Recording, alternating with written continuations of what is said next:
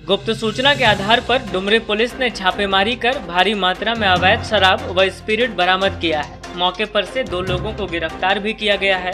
मामले के विस्तृत जानकारी रविवार को गिरिडीह एसपी अमित रेणु ने पुराना पुलिस लाइन में प्रेस वार्ता कर दी।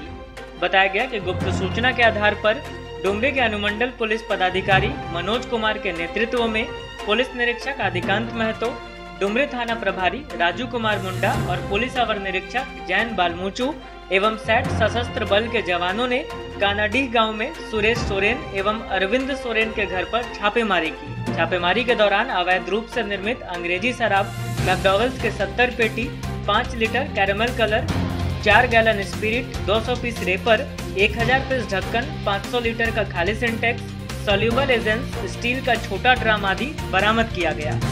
मौके पर से सुरेश सोरेन एवं अरविंद सोरेन को गिरफ़्तार कर लिया गया।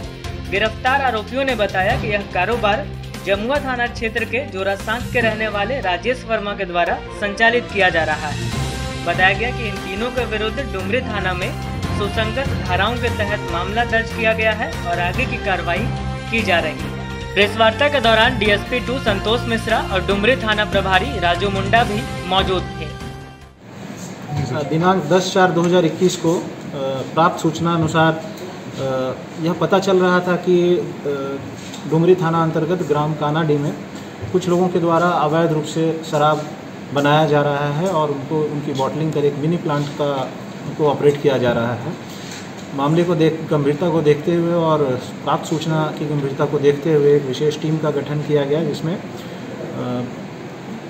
अनुमंडल पद, पुलिस पदाधिकारी डुमरी के नेतृत्व में एक टीम का गठन किया गया जो जा कर के उस स्थल पे छापामारी उनके द्वारा औचक रूप से किया गया।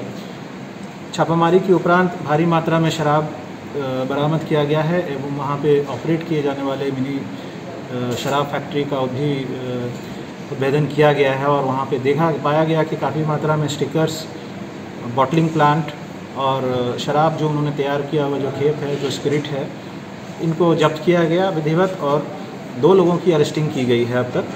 गिरफ़्तार किए गए व्यक्तियों का नाम सुरेश सोरेन एवं अरविंद सोरेन है। इस कांड के जो मुख्य माफिया हैं, उनकी गिरफ्तारी के लिए भी प्रयास किया जा रहा है। इस संदर्भ में डुमरी थाना कांड संख्या अड़तीस इक्कीस दर्ज कर अग्रतर अनुसंधान की जाएगी।